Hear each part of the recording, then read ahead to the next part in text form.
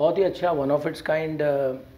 Bollywood park को मैं अगर कंपेयर किया जाए कंपैरिजन तो वैसे किसी की नहीं होती, पर मैं जब यूएस में था तो मैं यूनिवर्सल स्टूडियोज़ गया और न्यूयॉर्क फ़िल्म एकेडमी गया। तो जैसे सिस्टमेटिक वे में वो प्रेजेंट किया गया है, वैसे ही बॉलीवुड पार्क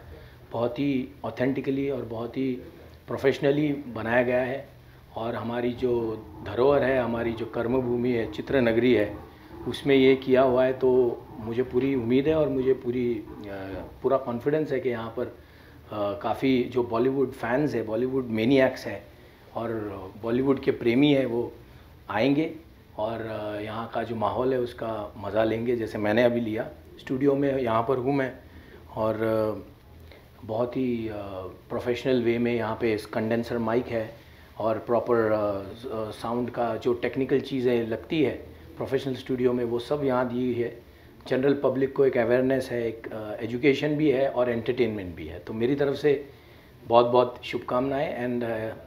पूरी टीम संतोष मिजगर मेरे दोस्त है अच्छे हिमांशु जी जो पीआर कर रहे हैं वो सब मेरे दे आर लाइक फैमिली